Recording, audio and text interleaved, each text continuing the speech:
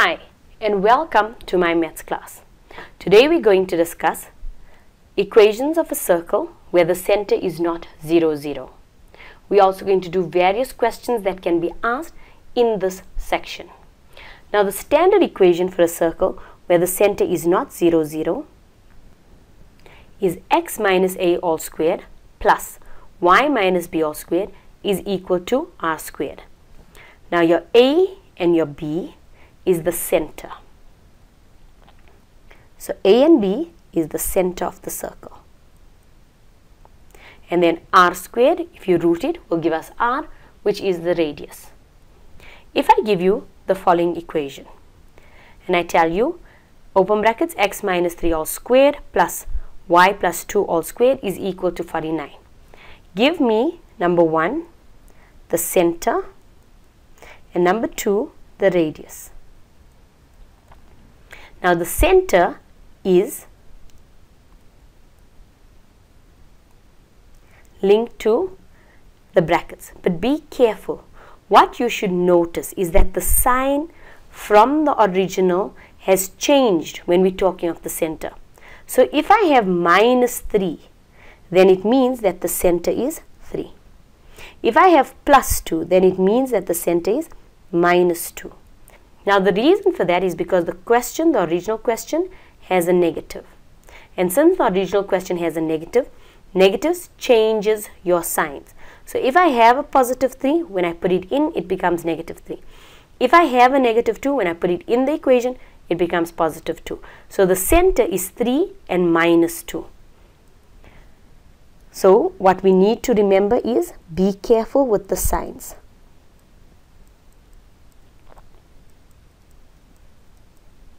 Now, how do I get radius? I know that the formula says r squared is equal to 49. If I root both sides, I have r is equal to 7. Now look, I am not putting plus and minus 7. Whereas in previously when you were solving and you had squares, I would put plus and minus in the answer. But I am not putting plus and minus because r is always positive. r is radius, which is a length, which is always positive. The next thing we're going to do is, they would give you an equation and they would tell you, get the turning points and get the radius. If you look at this equation and you look at the previous equation, can you see this is written quite simply. It's already made into your brackets. So it's easy to pull out the center and the radius. But when it is given in this form, you have to know how to do your turning points of a parabola.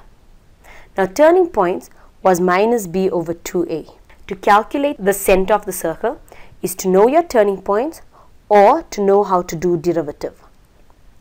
Now turning points you would have done in your grade 11 parabola. Derivative you would have done in your calculus. Now you don't have to do both methods. You can do either one of the methods. We're going to discuss each method separately. Now let's look at the question when we start, depend, doesn't matter which method you use. The first thing you do is you take your constant over. So we're going to have x squared minus 6x plus y squared plus 10y is going to equal to negative 1. Now we're going to work with our x squared minus 6x separately and we're going to work with our y squared plus 10y separately because those are our two separate centers. The one is representing the x the one is representing the y. Now how do we do turning points? Turning points is where you say x is equal to minus b over 2a. So we're going to have, in this case, x is equal to minus b over 2a. So we have minus minus 6 over 2 times 1 which gives me x is equal to 3. Then we have y. You're going to use the same formula, but we're now doing y. So again, we're using minus b over 2a. So it will be minus, our b is 10 over 2a, which is 1. a is 1. So we have y is equal to minus 5. That would mean that our formula is x minus 3 all squared plus y minus minus 5 all squared is equal to. Now, this is where you have to be careful. You got your constant on one side. Then we did the turning points.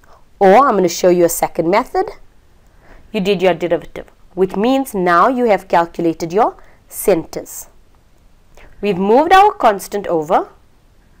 Then we've got our centers by either using the turning point method or derivative. But what we need to notice is that in this, where we've got x minus 3 all squared plus y plus 5 all squared. Now why is it plus 5? Because our minus and minus gives us plus 5. Then we have equal to negative 1. But now you have to add the extras. What does that mean? You see, here we had added a minus 3 squared extra. Because if you were to get rid of this bracket, knowing from your simplifying, then this is going to be x squared minus 6x plus 9. So we've added an extra 9. So what we've added was a minus 3 squared extra. Same goes for here. It should have been y squared plus 10y plus 25. So we've added a 5 squared extra.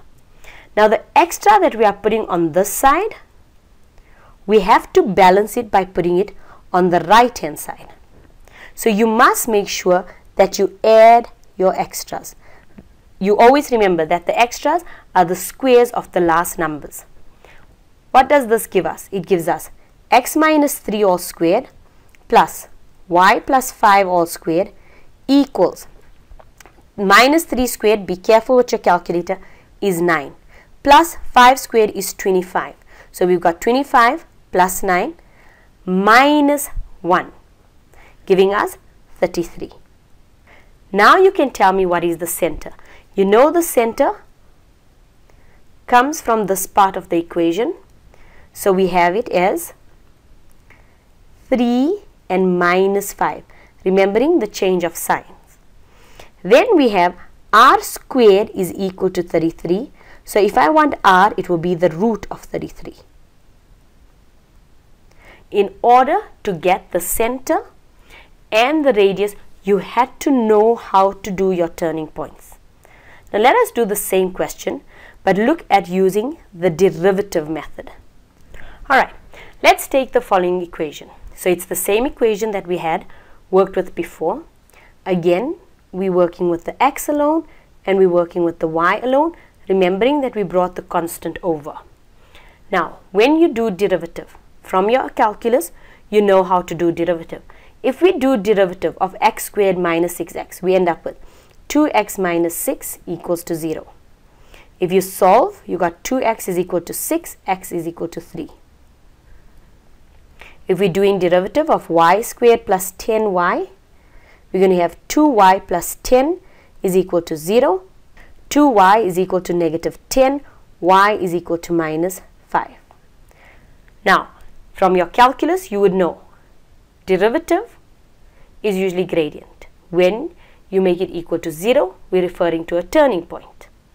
Derivative is the gradient, but as soon as we make it equal to 0, we are doing a turning point. Exactly in a graph, a calculus graph, derivative equal to 0 gives us a turning point. Derivative is gradient, gradient equal to 0 is a turning point. Same way, this is giving us the center. So what do we have as the center? Look at your previous work we have the center is 3 and minus 5. And if we come here, we have the center is 3 and minus 5. And if we were going to continue the equation, how do we write it? x minus 3 all squared plus y minus minus 5 all squared is equal to minus 1. But you're not completed. You have to remember to add the extras. So we're going to add to our equation the negative 3 squared and we're going to add the 5 squared. Remembering that that is what we had added extra to our equation giving us a final answer of x minus 3 all squared plus y plus 5 all squared is equal to 33. So the method after you've done the turning points or the derivative is exactly the same in both ways. You can't do one and not do the other. It's important that you remember to add the extras. That's a very common mistake. Pupils tend to forget to do this part very often. Right, let's continue. So, the basic one is where they can give you the equation and you just need to get the information. The second one is where they will give you an equation and you have to get the turning points. Let's do the next one. Now, when you are given the center and another point, then the main aim is to get R, which is exactly what you have learned when we got when we're doing circles with the center 0, 0. So, let's do the following equation. You are given the center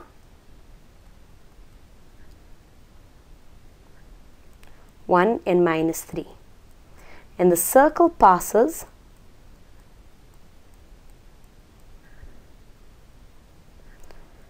four and one. Calculate R. Now we know the center is not 0, 0.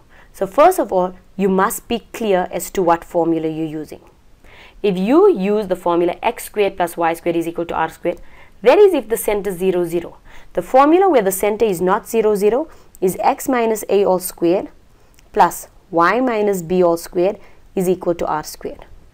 Once you got the correct formula, substitute all the information you have, which is exactly like our previous video when we discussed circle with the center 0, 0. Now we're going to substitute. So we have x minus 1 all squared plus y minus minus 3 all squared is equal to r squared. Now we've only substituted the center. But when I say substitute, I mean everything. So we also have to substitute the other point they give us, which is x and y. So in x's place, we're now going to put 4. So we have 4 minus 1 all squared plus. And then in the y's place, we're going to put the 1. 1 plus 3 all squared is equal to r squared. Now look, you don't need to go and do the whole kitty cat and try and solve it. You can simply say 4 minus 1 is 3. So I've got 3 squared plus 1 plus 3 is 4. So I've got 4 squared is equal to r squared. A lot of times at this level, we see children doing kitty cat and trying to solve it. Remember, you do kitty cat when you have unknowns and knowns. So you have two different so you have two different terms. But when you got 4 and 1, they're not two different terms, they're constants. So you can simply join it. So we have 9 plus 16 which is 25. So r square is equal to 25. But the question says what is r? So we're going to root it and we have r is equal to 5. Again only a positive version because radius is always positive. Let us look at the following diagram. What they're telling us is that calculate D if it is the center of the circle. Now if D is the center of the circle, you need to know your analytical of grade 10 and you need to know your analytical of grade 11. Because even though we are working with circles, a lot of those concepts are going to come into these questions. Now, D is the center of the circle, which means it is the midpoint of CB. If I want to calculate D, I'm going to be calculating the midpoint of CB. Now CB, if you remember, the midpoint is x1 plus x2 divided by 2, y1 plus y2 divided by 2. Remember, you can label it as you like x1, y1, x2, y2. But again, you can label it different. It's no problem. We're going to have 7 plus negative 1 all over 2 and for y we're going to have 1 plus 5 all over 2 giving us a center of 7 minus 1 gives us 6 divided by 2 it's 3 and 3 so our center of the circle is 3 and 3 now how do we calculate the radius? The radius is simply the distance from the center to the circumference. So if I want to calculate r, I can simply get the distance. Again, you're working with your grade 10 work. Distance is equal to the square root of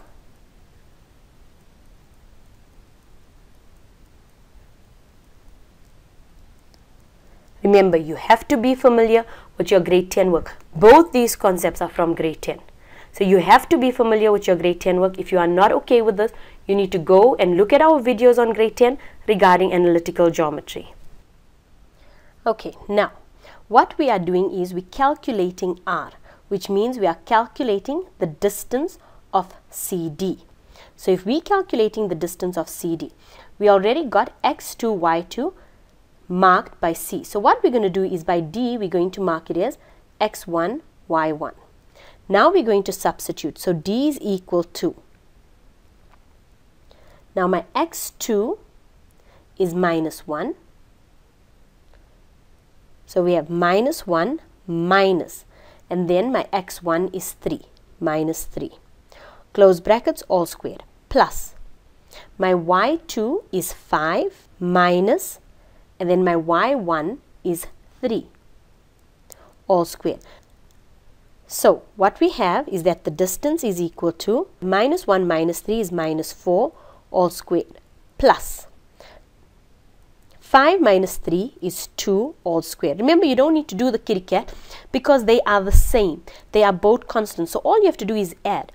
Now, we have d is equal to the root of minus 4 squared is positive 16 plus 2 squared is positive 4. So our radius is equal to the root of 20. Then they want the equation of the circle. We know from the drawing that it's clearly not 0, 0. The center is not 0, 0. It's 3 and 3. So we have to use the correct formula which is x minus a all squared plus y minus b all squared is equal to r squared. Now we've got x minus 3 because remember a and b are the centers. y minus 3 all squared. Where am I getting the 3 from? I'm getting them from the center. I'm getting it from the center of the circle.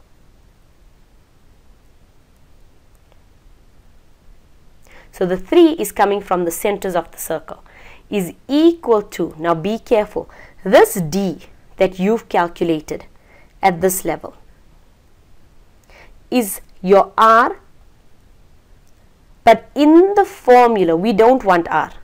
What do we want? We want R squared. So you have to square both sides which actually then gives us that R squared is equal to 20 be careful, this is an easy thing to miss. In that rush, you simply just put root of 20 which is incorrect. So your final answer is 20. So we have x minus 3 all squared plus y minus 3 all squared is equal to 20. The equation of the circle. You must be able to do all these different methods. They always end up being similar. It's grade 10 work, 11 work, all in one. Looking at this question, what I want to show you is that I had used the distance formula. But if we were given the center and another point, you could have also chosen to do it as we had done it before. Look at this question. We were given the center and we were given another point.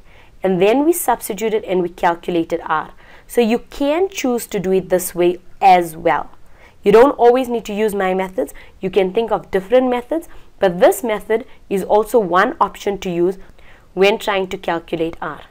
So there's different methods, but this is the one I worked with, but you can choose to work on a different method.